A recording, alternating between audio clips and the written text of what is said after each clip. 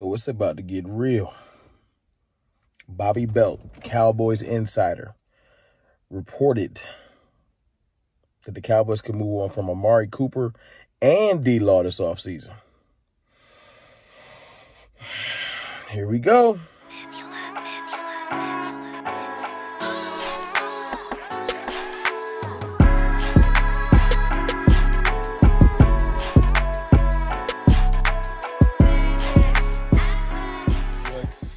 Good, people? It's your boy, Mr. Rome, Cowboys fan talk. Right back like I never left. it is real. Very, very real. Um, this one I couldn't wait till I got home and jumped in my little office studio thing to talk about. This is something I got to get out there now.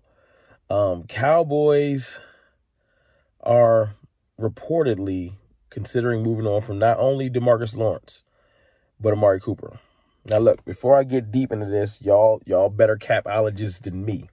You know, you can go to Spotrac or go to overthecap.com, get the details on the contracts, um, the dead money situation. I think Amari's supposed to make 20 million, Tank's supposed to make 27 million. You move on from one.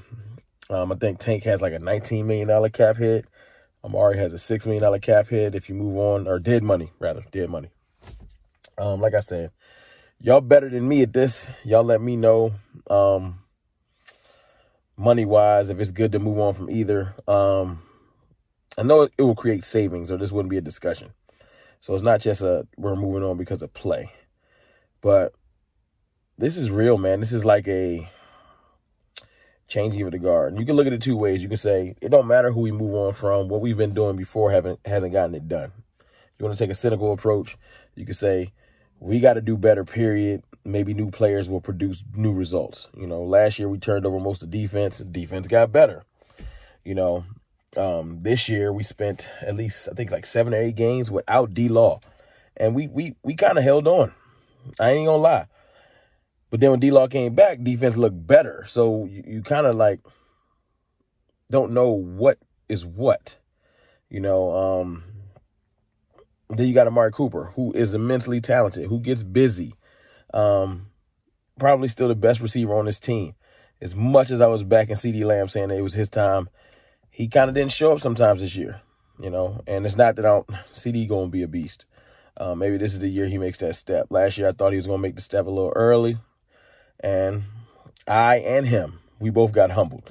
So, um, Amari Cooper still needed, still valued on this team. Tank Lawrence is still valued on this team, but according to the reports from Bobby Belt, it's raining. I don't know if y'all can probably hear that. Y'all probably can.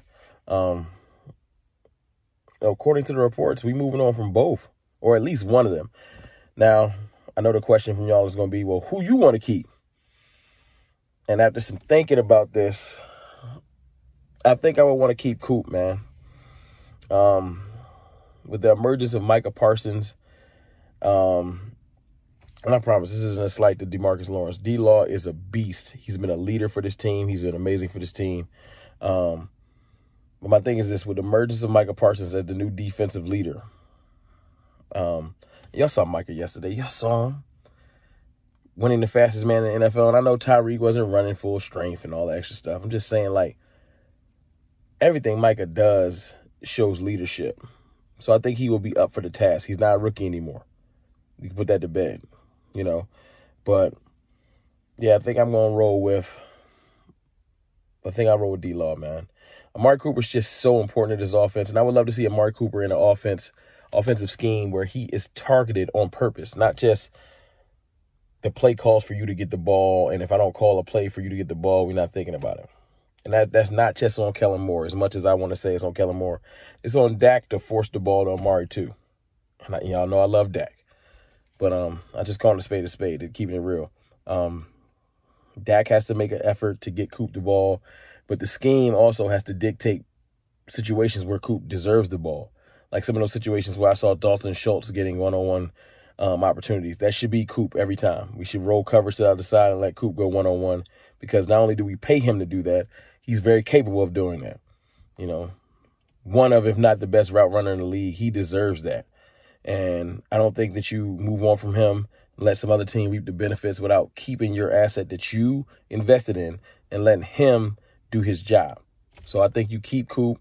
I think that stretch we did last year where D Law messed his foot up and we not only survived, the defense was really coming together with a lot of young players. I think that um I really do think that we could survive and thrive without um without D Law.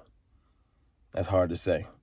But look, if you're wondering like how can we possibly do that, remember, we moved on from another DeMarcus that was even better than D Law before.